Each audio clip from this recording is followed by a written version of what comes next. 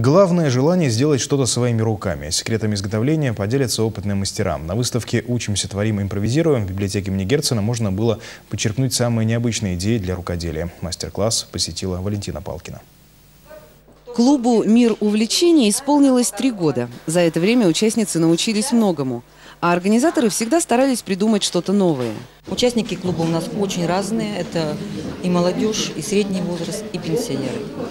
То есть они приходят, учатся здесь чему-то. У нас проходят и мастер-классы по различным направлениям. Это и карвинг, и квиллинг, и кукла, и э, пэтчворк. Что еще у нас было? Очень много у нас занятий за эти три года было. А еще здесь учились оформлять подарки, узнали, что такое скраббукинг и декупаж.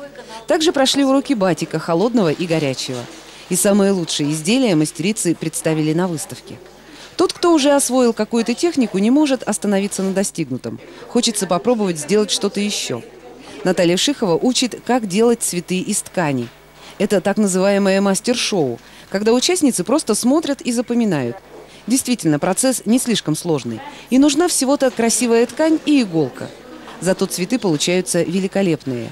И украсить ими можно свой наряд или шторы в доме, заколку или брошку. Или оформить любой подарок. Чем больше кто делает, дает, больше отдача. То есть вот мастер и сам учится у тех, кого учит. И, соответственно, если я не веду занятия, я сижу рядом со всеми, чему-то другому учусь. Вот, например, цветы и так далее. Делали мы и кукол длинноножики, потом вот последователи за мной делали кукол на бутылках. У всех своя. То есть показываешь алгоритм один, куклы получаются разные.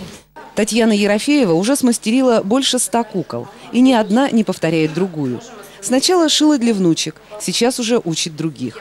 Для того, чтобы освоить какое-то ремесло, нужно только желание.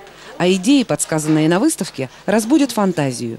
И получится вот такая партитура песенки – или белоснежные розы, сделанные, никогда не угадать, из простых ватных дисков.